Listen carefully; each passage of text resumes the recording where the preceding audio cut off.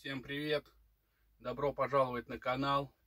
И сегодня у нас с вами еще одна распаковочка.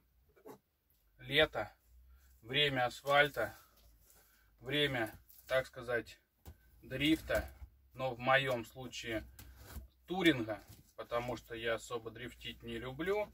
Может быть, просто не умею, не могу вам ничего по этому поводу, конечно, сказать. Вот, поэтому я больше люблю, как говорится, туринг. Шоссейная резина, не слики, вот, резиновые. Ну и, соответственно, более понятное управление. Сколько людей, столько мнений. Мне ближе туринг. Что у нас сегодня с вами? У нас сегодня шась HPI Racing Sprint 2. У меня есть несколько моделей HPI дрифтух. Вот, сейчас я вам их все покажу. Мы с вами поговорим, посмотрим, их, в чем у них разница. Вот. Ну и каждый определится, что ему больше нравится. Так, запасные части, мешочек, сама модель. Ой, этикеточка отвалилась. Этикеточка спринт. Инструкция. Чеки. Чек на покупку соковыжималки. Очень нужная вещь. Далее аппаратура управления ТФ-11. А, вот закрывашка, закрывашка отвалилась.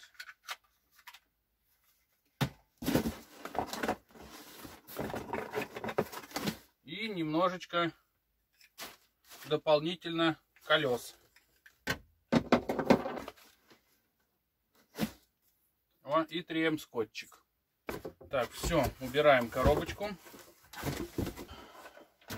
Вот такая вот интересненькая модель у нас.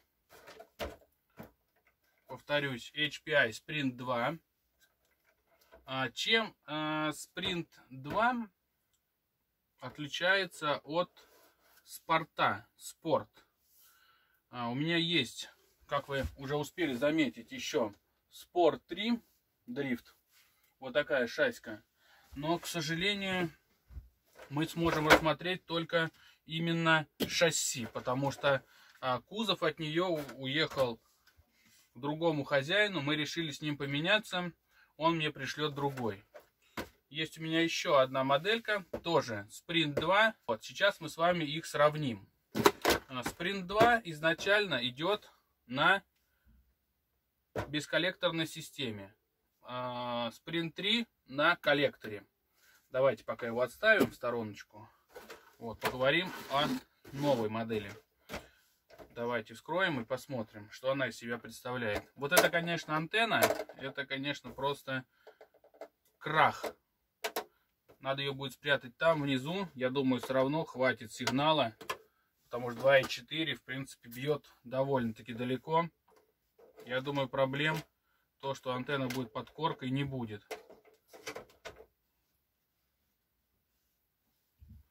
Так, открываем. Смотрим, что у нас здесь. У нас здесь сток система на ремне. Что-то ремень очень сильно прослаблен. Вот. И мы сейчас будем с вами сравнивать этот спринт вот с этим. А, потому что та модель у меня тюнингованная. Вот. А это полный сток. А, регулятор оборотов здесь у нас идет от э, Castle. Вот. А, в принципе, очень такая качественная система. Я думаю, что сейчас они уже ее не ставят, ставят более бюджетные, потому что ценники все растут, растут и растут. Вот. Ну, давайте сравним. Значит, вот они, две шасси, два спринта. BMW и Chevrolet Camaro. Вскрываем. Вскрываем. BMW на магнитах у меня. Вот, Chevrolet пока что на клипсах, но она, наверное, так и останется. Но, хотя на BMW у меня тоже стоечки есть, можно и так, и так ее сделать, грубо говоря.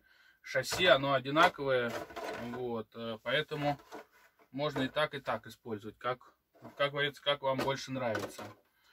Э, какие, значит, основные отличия по модели? Э, повторюсь, шасси одно и то же. У меня уже заменен регулятор оборотов. У меня заменен мотор. Мотор у меня уже более мощный. А, спур у меня поменьше немножечко размером. Кстати, здесь немножко под, поджратый спур. Вот, далее. А, у меня нету бокса под приемник. Он у меня просто так вот валяется здесь. Но я его фиксирую. Вот, в принципе, ремешки хорошие, тоже натяжитель. Ремни у меня есть запасные даже. А, что еще изменено? А, у меня стоят уже более мощные кулаки. Вот эти вот вещи. Вот, ну, потому что моя модель немножко уже, как говорится, апгрейдилась. А, амортизаторы немножко у меня пожестче, здесь помягче. И, кстати, жестковато, надо их будет поднастроить. Вот, развальчик уже у меня сделан по-другому немножечко. А, вот. Аккумуляторы у меня, вот эти борта уже убраны, здесь на липучках все. Вот. И серво более мощное. Кстати, вот здесь пиньон маленький, спур большой. А у меня чуть-чуть наоборот. Спур, э, пиньон побольше, спур поменьше. Вот. Очень хочется мне их затестить и посмотреть, как они будут вести э, спринт из коробки и тюнингованный.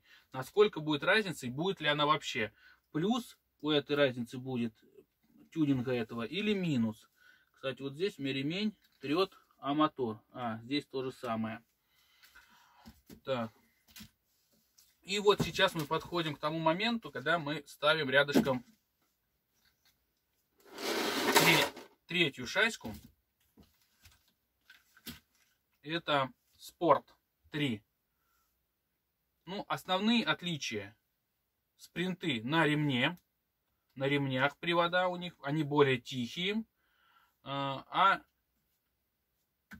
спортовский идет на на косточке, как говорится, на приводах. Немножко другая система. Дифференциалы тоже разные, все разное. А, еще момент. А, спорт. Задний мост разблокированный передний разблокированный, а у спринта жопа заблокирована, а вперед разблоченный. Вот, поэтому э, как бы скорость будет набирать, наверное, спринт быстрее, даже если ему поставить коллектор. Вот, а в повороты, наверное, спорт будет входить лучше. Ну, соответственно, конечно, надо поставить везде резиновые колеса. Сравнивать я их буду, конечно же, все на резиновых покрышках обязательно. Вот, потому что, чтобы был одинаковый зацеп, все-таки одинаковые условия. Вот, либо третьего комплекта у меня нету резиновых. Возможно, будем экспериментировать и будем использовать дрифт покрышки. Немножко их Сначала по асфальту сотрем, а потом попробуем уже прямые участки покатать. Вот. В принципе, как говорится, колес.